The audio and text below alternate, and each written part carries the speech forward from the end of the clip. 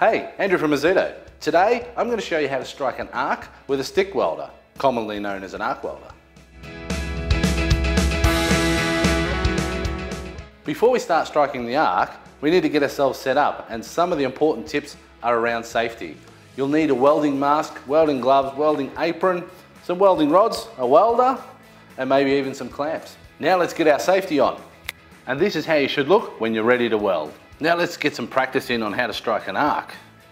I've got some mild steel here to practice on. Get in position, set everything up. This is our earth cable.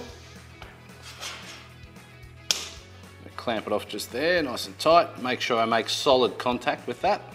Before you turn the welder on, it's a good idea to get yourself in position, get your welding rod at about 70 to 80 degrees from the material, and then you'll lower it in until you get a spark or an arc, and just drag it back like this a few times. That helps heat up the end of the electrode, so when you actually start welding, it'll be ready to go. Now we need to set the amps on the welder. Now this is a little bit down to you in that you want to set the amps so you get a good weld. And this is why we're practicing. Turn it on, you can hear that fan winding up. That fan's actually to help keep the unit cool because there's a lot of heat generated.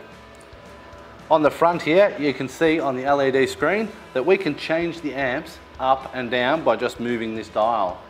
So for a test, let's just start it in mid-range. Now let's give it a go. Welder on,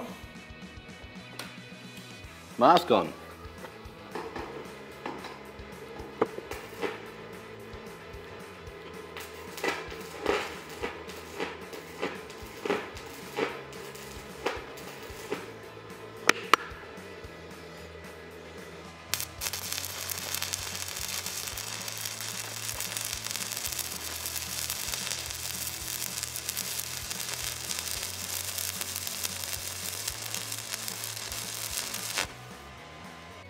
And that's how you strike an arc.